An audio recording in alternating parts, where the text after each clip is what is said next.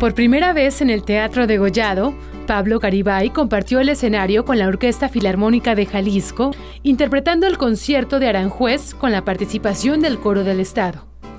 Maravillado por la preciosidad del recinto cultural más importante de Jalisco, Garibay hizo vibrar al público asistente al compás de sus cuerdas.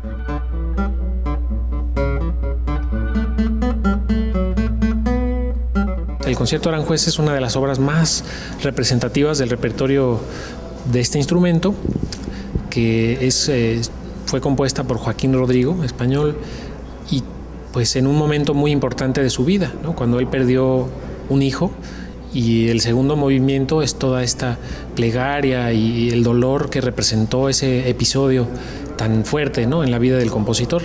Sonaron también elementos españoles que se fueron fusionando a través de danzas típicas, particularmente en el primer y tercer movimiento. Fue con este concierto como Garibay se despidió de Guadalajara, no sin antes regalar un mensaje a quienes dedican su vida a la guitarra. Y alentarlos a que sigan adelante, que es una carrera que requiere muchísima paciencia, porque es muy lento el progreso, no se ve, no se siente, no es como leer un texto y ya aprender más, es, tan lento que a veces se, se desespera uno y que se mantengan ahí al pie del cañón firmes.